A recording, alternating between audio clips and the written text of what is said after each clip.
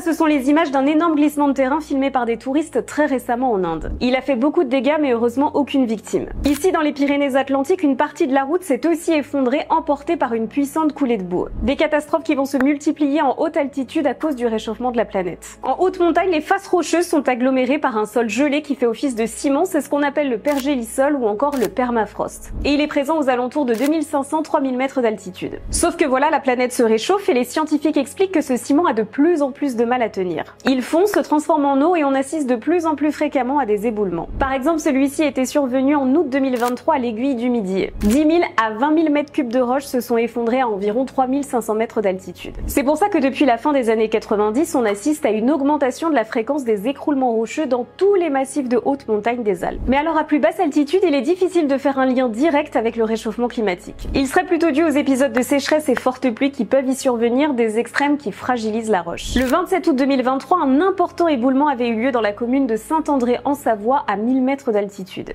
Et là aussi, près de 10 000 mètres cubes de roche étaient tombés à cause des températures élevées.